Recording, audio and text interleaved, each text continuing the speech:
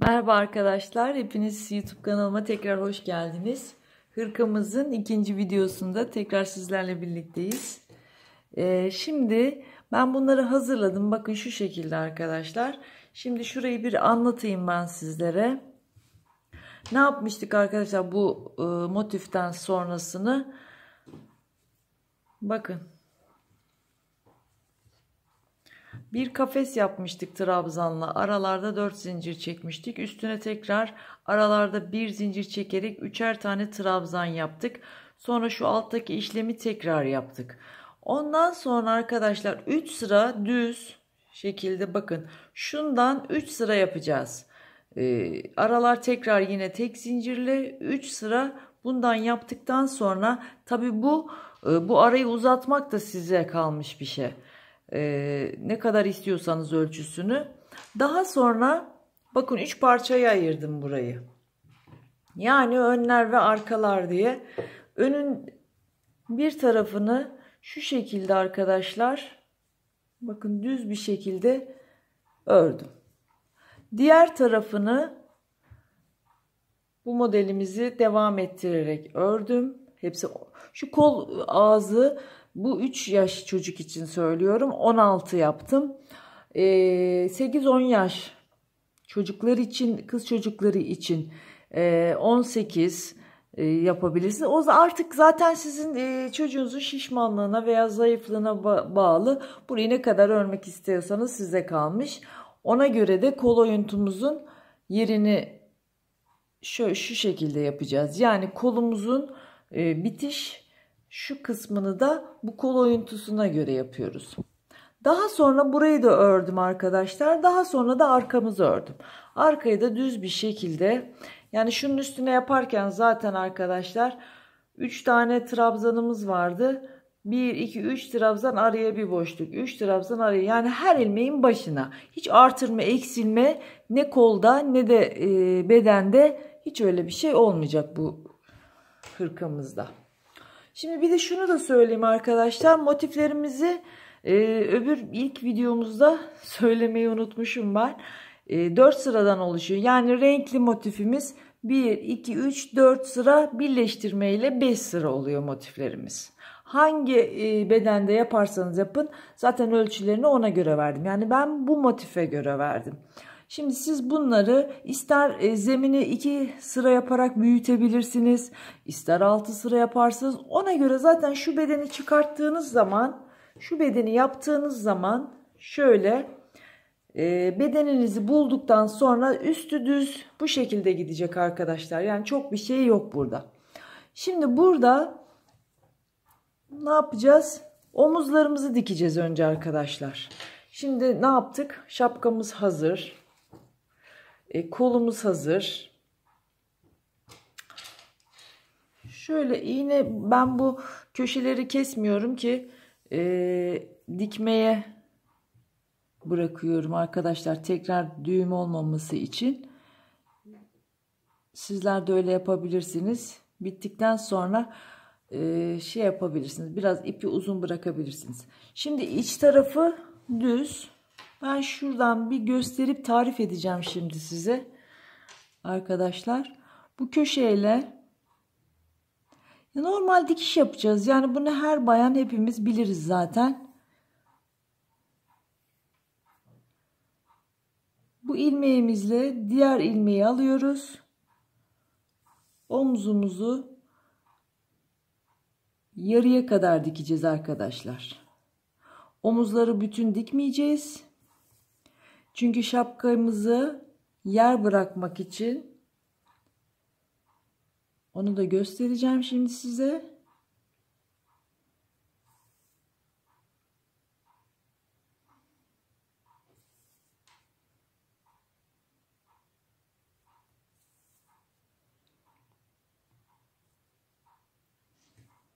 Bakın bu kadar e, şu kadar dikmemiz kafi.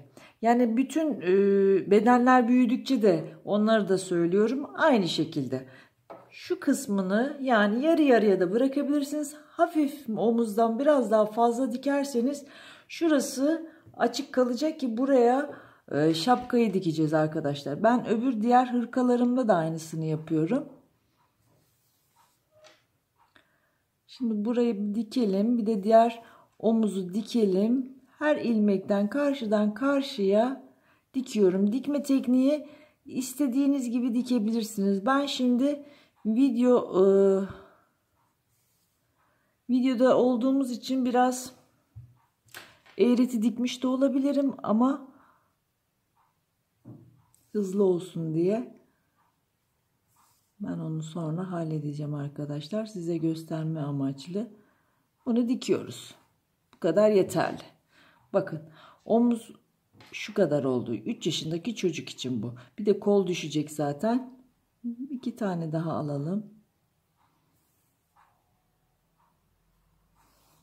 Evet. Burayı pekiştiriyorum arkadaşlar.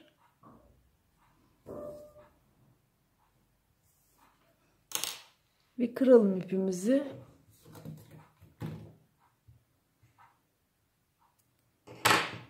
Diğer tarafa geçeceğim şimdi. Diğer tarafı da diktikten sonra şapkanın yerleştirmesini göstereceğim. Bakın şöyle oldu. Gördünüz mü arkadaşlar? İlmekten ilmeğe gittiğimiz zaman bu şekilde güzel bir görünüm elde ettik. Şimdi diğer tarafını yapıyorum. Kol kısmından yukarıyı birleştirdim.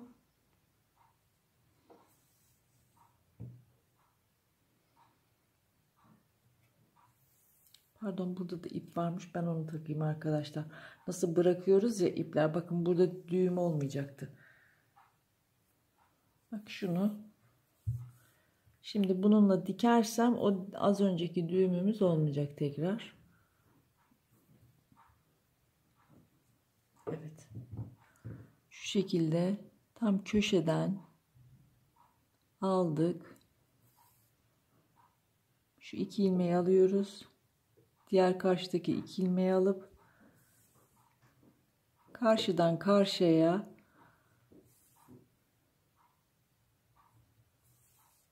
dikiyoruz.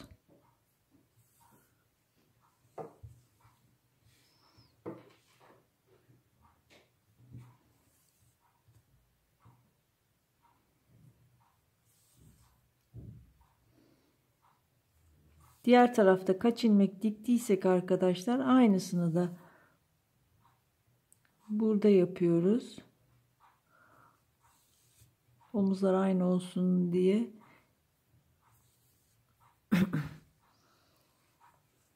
Bakın kaç tane ilmek dikmişiz. 2, 4, 6, 8, 10, 12, 14, 16, 18, 20. Daha var. Tekrar dikiyorum arkadaşlar.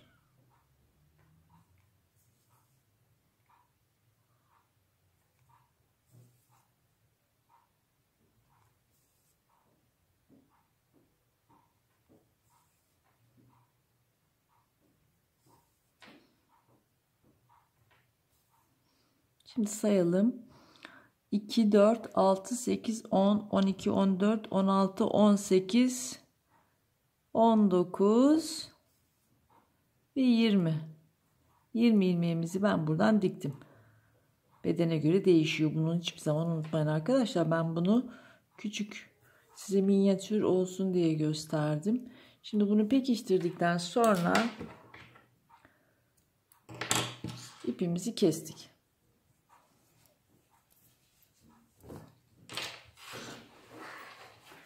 Şimdi arkadaşlar bakın şu şekilde şöyle göstereyim ben size. Yakamız böyle oldu. Şöyle. Şu an yelek şeklinde oldu. Şimdi buraya arkadaşlar şöyle göstereyim size. Şöyle tutalım. Buraya kapşonun yani şöyle bu ucundan başlayıp şuradan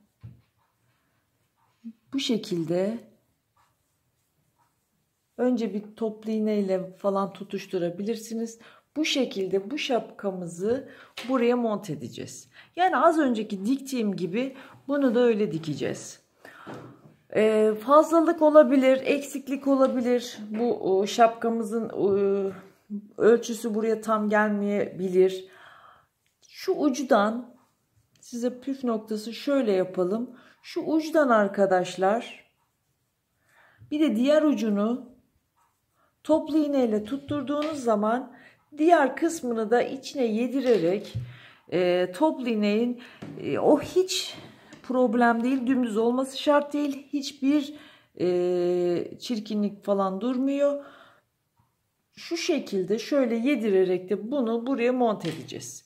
Dikim işlemi şapkamızın bu kadar arkadaşlar. Şöyle göstereyim. Şapkamızı buraya böyle bu şekilde dikeceğiz. Kalan kolumuz var. Arkadaşlar kolumuzu da aynı şekilde burası düz yeri hırkamızın burası da düz e, yeri e, kolumuzun şu şekilde yaptığınız zaman bakın şöyle yaptığınız zaman içinden çıkartın ve böylece şu şekilde az önceki omuz diktiğimiz gibi kollarımızla buraya böylece mont edeceksiniz. Kollarımızın işlemi de bu kadar. Ve gelelim şimdi. E, ben şimdi e, dikip de videomuzu kesip tekrar birleştirmek istemiyorum arkadaşlar. O yüzden anlatmak istiyorum sizlere. Kapşonumuzu da diktikten sonra e, kollarımızı da diktik. Bu herhangi bir yerinden başlayarak arkanın şu arkanın herhangi bir yerinden başlayarak arkadaşlar ön biyemizi yapacağız. Yani mesela şunun şuradaki yaptığımız üçlü trabzanlar araya bir zincir çekerek üçlü trabzanları her bir deliğine şu şekilde yaparak bütün kap böyle gidecek arkadaşlar. Kapşon buraya dikileceği için komple e, bütün e, vücudun şapkanın ön arka gelecek şekilde affedersiniz.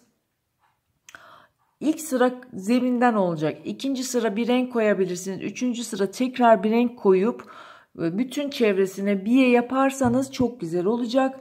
En son sırasına da araya zincir çekerek değil de trabzan düz bir trabzan yaparak hırkamızın zaten ilk ana şeyinde resminde göreceksiniz. Öyle yaparak hırkamızı bitirebilirsiniz.